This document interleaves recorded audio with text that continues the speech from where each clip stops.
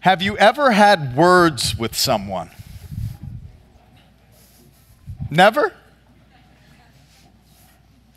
What, is that, what does that even mean? To have words with someone? Well, literally, you know, to have words with someone, I mean, that happens every day, right? We share words with one another. Some of us, words with friends, probably more often than we should be playing that game. Words, to, sh- to have words with someone. What does that mean? What's the connotation? Hmm? A fight, a conflict, a conflict of interest. Now, when you have words with someone, what's the hope? What's the hope when you have words with someone? To settle it to settle the conflict and come to some form of reconciliation with the person. You share your perspective, these are my words, and I hear your words, and God willing, those words come together, and then there's a form of reconciliation at the end. That's the greatest outcome. Where it doesn't work is when you go into that conflict in your mind with your words and I'm right and you're wrong, and that settles it. Right? It will never work when we have that disposition. Right? Now, when we consider what occurs in the scriptures today, we see the Spirit at work, especially in the first reading for the Acts of the Apostles. This is what preceded the first council in the church. First century, the Council of Jerusalem. Now, from this council, throughout all of the years of the church, there have been many councils, right? And it's important that people would get together to share concerns and conflict so that the outcome of a conciliar gathering, council, there would be a sense of unity, greater solidarity, a greater group of congregation that's moving together according to the Word of God. How many of you were alive during Vatican II? Raise your hand. Wow, you guys are really old. No, I mean, you guys are like, God bless. That's incredible. No, that's a, that's a gift, right? That's a gift that you actually saw and experienced firsthand Vatican II. But even in our own time, the synod on synodality, this, this importance of being a church that is open to having conversation and sharing words that would produce a greater unity. Now, it's very evident that the Jews were in conflict with all of these Gentiles and people from all of these nations joining, you know, the faith. How are they going to be children of Israel? How are they going to be children of God? Well, shouldn't they abide by the same laws? By the same dietary principles, shouldn't they be circumcised? Well, Paul and Barnabas, representing the forefront of evangelization, they're trying to bring a form of reconciliation, and they did. The Spirit brought about a fruitfulness to this council. What does this have to say to us? Well, my brothers and sisters, we need to be conciliar in our approach. We need to seek counsel. We need to be open with one another because each of us are imperfect. We have rough edges. And some of us have very loud words in our head. And those words sometimes lash out at the other. Hmm? You know, nothing will be settled and brought together in unison if that's the way that we approach each other in relationship. You know, we have St. Rita, the first class relic. Today is her feast day, May 22nd. You know, she had a very, very difficult marriage. Some people would say an impossible marriage. She had a husband whose words in his head, they were the only words that mattered. He, was, he had bouts of rage, of anger, of alcoholism. He was carousing around. being unfaithful. And you know what? St. Rita never gave up. She ever counseled her husband, praying with charity, loving him, and guiding him to the point where his heart transformed and he was not governed by his rage and his anger. What a success story.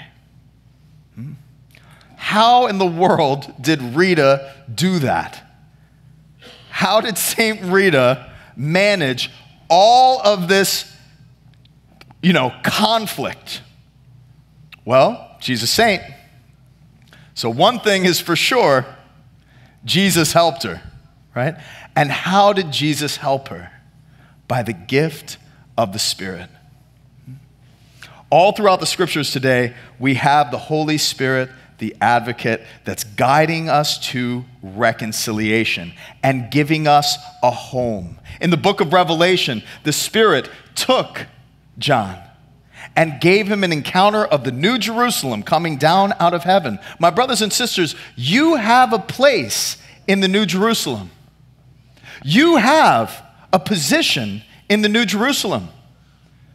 But it is only the saints that make up the walls of the New Jerusalem. Each of us are called to be saints. Each of us are called to holiness. And the only route that we can go to make it to that place, to the New Jerusalem, is a route in reconciliation. To be men and women who seek every occasion to draw back into one community in Christ, one flock, one faith.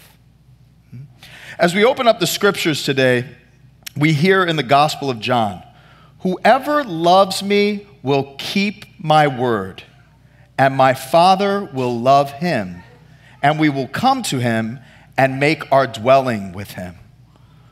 What is God's desire? That he would dwell with us. That God would de- dwell in this world, in this broken world, in this divided world, in this polarized world, that he would dwell with us. Is that not marvelous to consider? That God wishes to be in your heart and make that dwelling within you. That's God's love. And my brothers and sisters, you are loved. Each and every one of you. God bless you. When we consider the importance of staying in God's word and keeping his word, how do we do that? Hmm? I'd like to ask you a question. Do you read your Bible every day? Do you open up the scriptures every day? Now, I don't want you to squirm in your seat. I'm just your pastor, and I love you. And there's a lot of things that get in the way from us opening up the Bible every day. A lot. There's so many distractions. But if we are called to keep God's word, we can't just listen to it. We got to meditate on it. What is God saying to me? As faithful men and women, we believe in God. We profess it every week. I believe in one God, the Father Almighty, maker of heaven and earth. But I think we evade opportunities to opening ourselves up to God and the Holy Spirit because it's like, what if God doesn't speak to me? What if I don't understand what the Bible is saying? My brothers and sisters, we live in a privileged time in the world. And I don't care what news agency or what group of people say that it's terrible to live in this world right now. What a horrible place to bring children into this world. That's a terrible perspective. We live in a beautiful world. Why? Because we have the opportunity today to reconcile the differences and what's polarizing people. We have the power because God is entrusting us with His love and the Spirit today to respond accordingly and to have the opportunity of exchanging love with one another. Rita never missed out on an opportunity to express love. And the reason why is because she was so immersed in the power of the Holy Spirit and the sevenfold gifts of the Spirit. Do you remember the seven gifts of the Spirit? We just had 109 confirmandi down at the cathedral. It was incredible. church was packed. The seven gifts of the Spirit, what are they? Okay, so you're not, you're not, you're not reading the Bible and you're not, you're not following the catechism. My good Catholics, I love you guys. I love you guys. Here we go, all right? The, the four, four, first four deal with the intellect, deal with the mind. The remaining three deal with the heart, okay? Knowledge, say that with me. Wisdom. Wisdom. Understanding.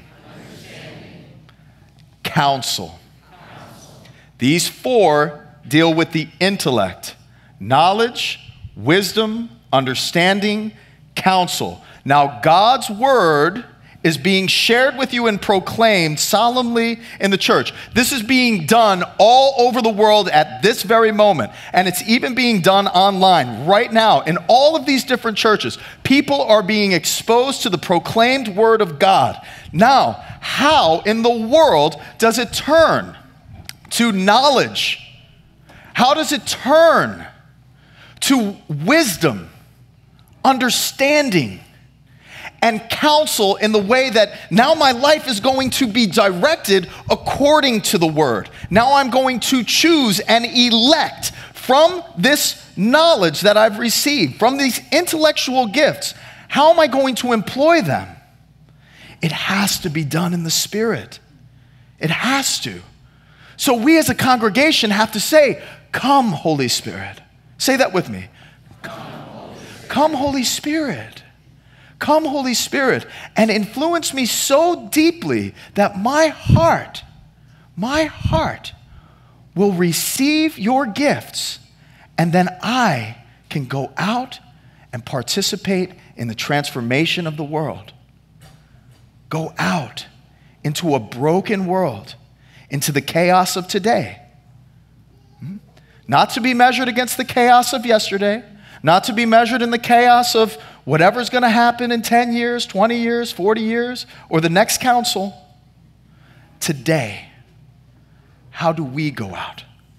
Well, God gives us the ability to go out into that crazy world with three gifts for the heart. We've already got the gifts of the mind, right? What are they? Now, the gifts of the heart fortitude. The gift of the heart that the Spirit gives is a sense of fortification and protection, strengthening us in confidence that we can go out with our heart and exchange love with another person, unafraid because we pour out love into a broken world in the name of Christ. And we open ourselves.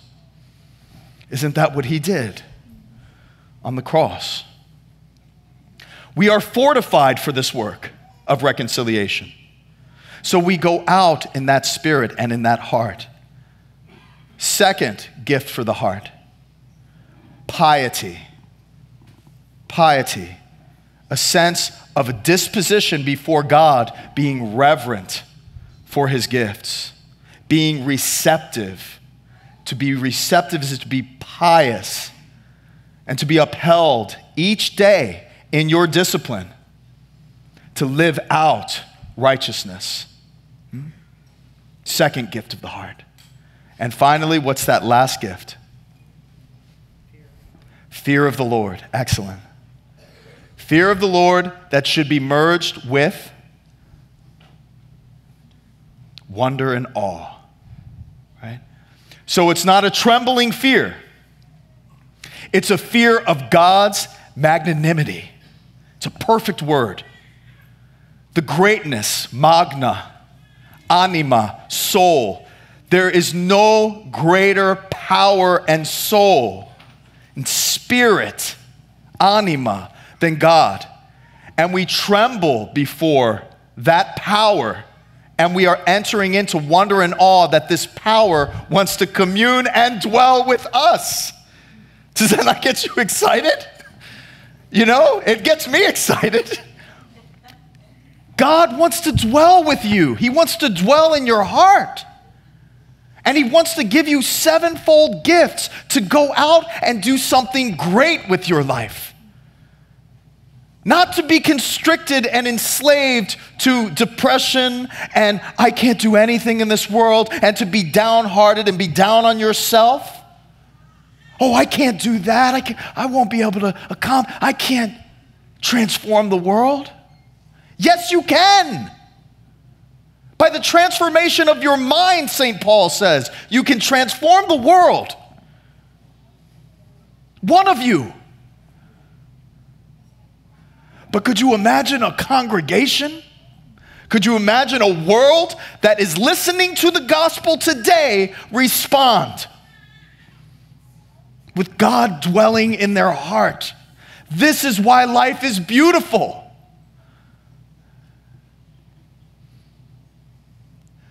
And you have to see it, you have to believe it, and you've got to participate in it.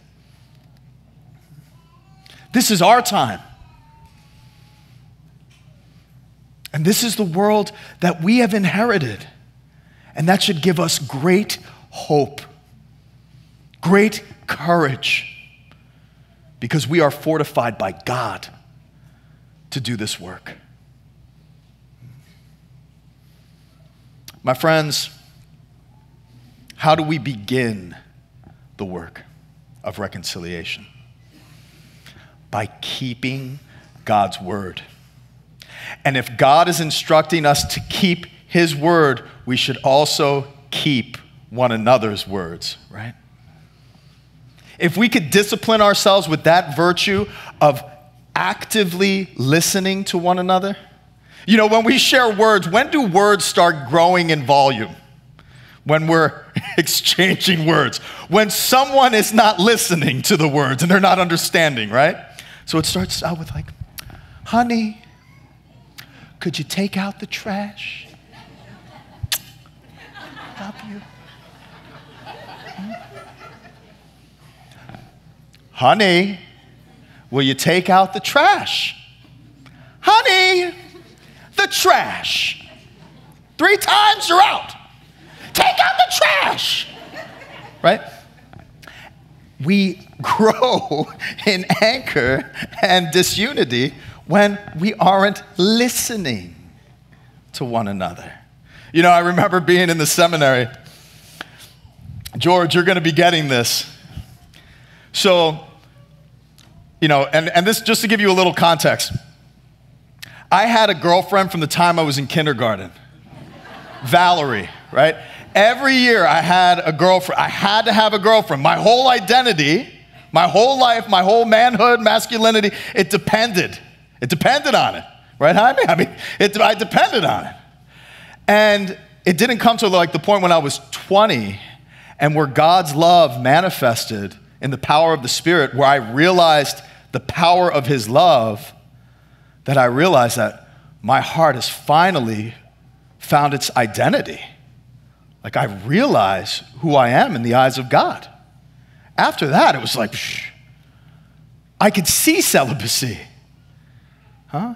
I could see it, I could understand it. Hmm? So, all the way through the seminary to our last years, we started receiving these counseling classes that we could take out into the world and help counsel others. And I'll never forget getting into the active listening sessions where it's like all you do is you sit down and you say, "Joe, how you doing?" Great. Great. You're great. Yeah. Actually, I feel pretty. Actually, I feel pretty crappy. So, what's going on that's that's feeling you're feeling crappy? Uh, work. Work. Watch this. Work. Right? Now he's, yeah. Now he's conceiving work. Now he's going to share a little bit more. Now, this active listening, you know, as we employ it in counsel and ministry, I'm sitting there thinking back from Valerie all the way up to the recent girlfriend that I had going into the seminary. And I'm like, oh my gosh, if I would have had this in all of my relationships, they all wouldn't have failed. Every single one of my relationships failed. That's why I'm a priest now. You know?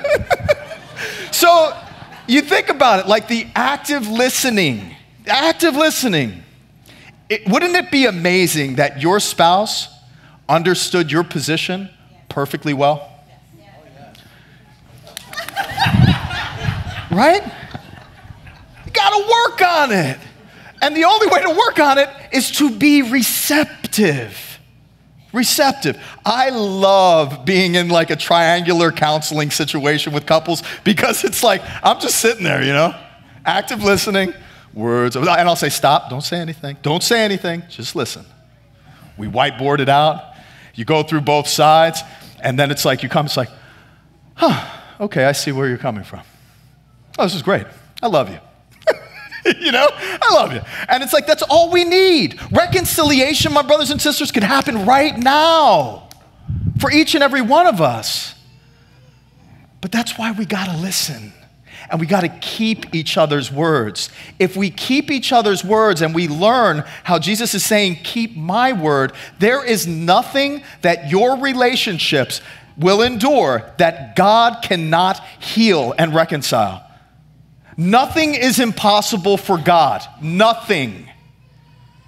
And I don't care how broken the world is or how broken your relationships are. Do not give up on God. God is faithful and He will manifest His power and in the spirit of His sevenfold gifts will repair something that you think is completely broken, no matter what relationship it is. But we have to have the courage to open up our heart and communicate and listen. So, you've been listening to me for a while now. Hmm? You've heard the proclamation of this good news. You have heard that God wants to make his dwelling with you deep in your hearts. You have heard that he wants to give you abundant gifts. Do you believe it? Then profess it.